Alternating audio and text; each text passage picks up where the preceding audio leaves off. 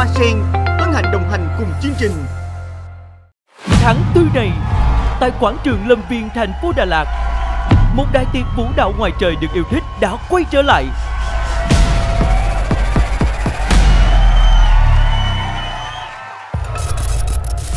Đà Lạt Best Dance Crew 2024 Hoa Sen Home International Cup với chủ đề Be You, Be Unique khẳng định chất tôi. Sự kiện đầu tư hoành tráng. Sân khấu đẳng cấp. Âm thanh ánh sáng tiêu chuẩn quốc tế.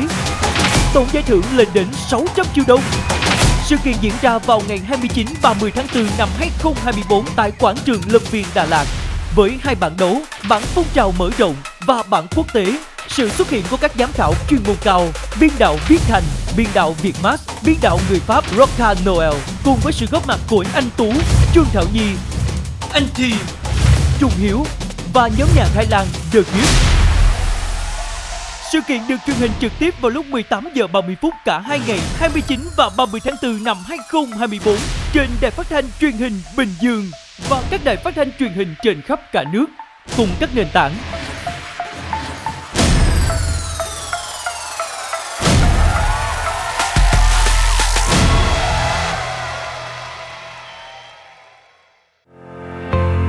Hoa Sen hân hạnh đồng hành cùng chương trình.